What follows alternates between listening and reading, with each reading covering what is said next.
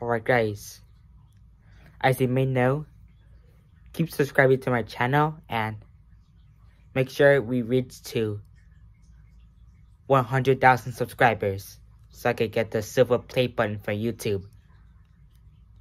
And and with that, good luck subscribing.